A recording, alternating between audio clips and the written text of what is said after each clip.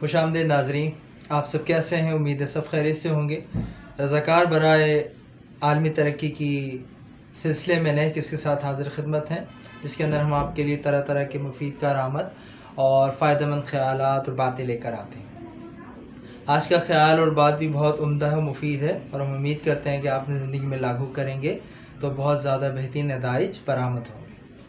नाजरीन, आज का ख्याल और बात यह है कि हर चीज़ को याद रखिए मगर अपने आप को ना भूलिए। जी हाँ नाजरीन दूसरे लफ्ज़ों में हर चीज़ याद रखनी चाहिए ताहम अपने आप को नहीं भूलना चाहिए।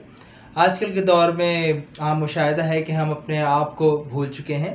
ताहम हमें मुख्तलिफ़ चीज़ें तो याद हैं लेकिन हम अपने आप को भूल चुके हैं। आ, हमें जो कुदरत ने यहाँ भेजा है दुनिया में बेशक तरह तरह के मामला तरह तरह की ज़िम्मेदारियाँ देकर भेजा है। और ये हमारा फ़र्ज़ बनता है कि हम उन ज़िम्मेदारी को अच्छी तरह से निभाएँ और वो तमाम मामूलत सर अंजाम दें जो कि हमारी ज़िम्मेदारी में शामिल है, जो हमारे फ़रज़ में शामिल है। ताहम हमें ये नहीं कहा गया कि हम अपने आप को भूल जाएँ। जी हाँ नाजरीन आमतौर पर मुशाह ये है कि हम मुख्तलिफ़ चीज़ें, मुख्तलिफ़ काम तो रोज़ाना की बुनियाद पर ज़रूर करते हैं ताहम अपने आप पर कोई तवज्जो नहीं देते, कोई वक्त नहीं देते और अपनी कोशिशों का कुछ हिस्सा अपने लिए बचा कर नहीं रखते। इससे ये होता है कि हमारी हमारी आमतौर पर जो सेहत है, वो गिरती चली जाती है और दीगर जो इसके ख़तरात हैं, वो हमें लाक होते रहते हैं, दीगर नुकसान होते रहते हैं। नाजरीन, अगर हम इसी तरह चलते रहे और दीगर ज़िम्मेदारियों को अदा करते रहे, हम अपने आप को भूले रहे तो ये फ़र्क आया कि जब आपकी जो कामयाबियाँ आपको तो हासिल हो जाएँगी, लेकिन फिर सेहत नहीं रहेगी। फिर आप वो नहीं रहेंगे जो आज हैं। यूँ समझ लीजिए कि एक वक्त आया और आपने सारी कामयाबी हासिल कर दी और खुदा न खासा आपको कोई मर्ज़ लाक हो गया। तो नाजरीन वो कामयाबी जिसके लिए आप इतने अरसे से जद्दोजहद कर रहे थे वो या, या वो कामयाबियाँ जिसके लिए आप इतनी तकदो करते थे इतनी मेहनत करते थे अब वो आपको हासिल हो गई हैं लेकिन अब आपकी सेहत बाकी नहीं रही खुदा न खासा तो आप बताइए वो कामयाबियाँ भी आपके लिए कामयाबियाँ नहीं रहेंगी। क्यों? कि वो आप उससे महजूज नहीं हो सकेंगे, उन कामयाबों से फ़ायदा नहीं उठा सकेंगे। तो हमारा आज का ख्याल ये कहता है कि जितनी भी दीगर जिम्मेदारियाँ आपको दी गई हैं, जितने भी काम दिए गए हैं, उस पर बेशक अच्छे अंदाज से काम करते रहिए, ताहम अपनी ज़ात को नहीं भूलिए, रोज़ाना कुछ ना कुछ वक्त, कुछ का हिस्सा निकाल कर अपनी ज़ात को दीजिए।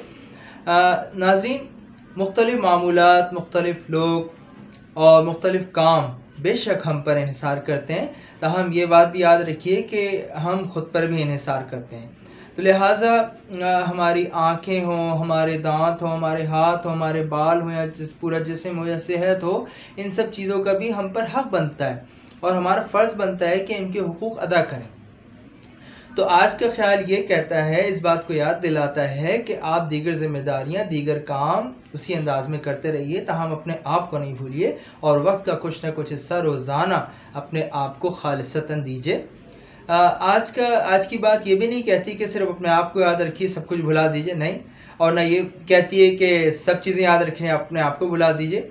आज की बात एक ऐसी अतदाल पसंद ज़िंदगी की तरफ़ आपकी रहनुमाई करती है कि हर चीज़, हर लोगों का तम दीगर मामला का हक़ अदा कीजिए तो हम अपने भी हक़ से अपने भी हक़ से दूर ना रहिए।